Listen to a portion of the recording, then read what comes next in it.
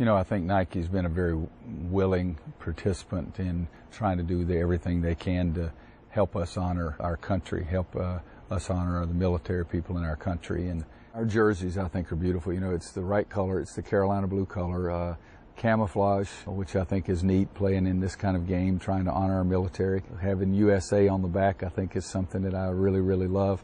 The uniforms, the the boots that they sent the coaches, the polo shirts we're going to wear. I think uh, everything is trying to draw attention to Veterans Day. And I think that that says great things about Nike. To wear a camouflage uniform and have the USA on the back, even though it's going to be competition for the game, I mean, I think with the way the uniforms and what Nike has done with those uniforms, it's such a bigger picture than a game. You know, this is about our veterans, this is about our soldiers, this is about the people that represent us and keep us out of harm's way. And I think they're going to think of it as an incredible tribute as this game goes all across the world. The lessons that I hope our team will get would be this total sacrifice by the uh, military personnel.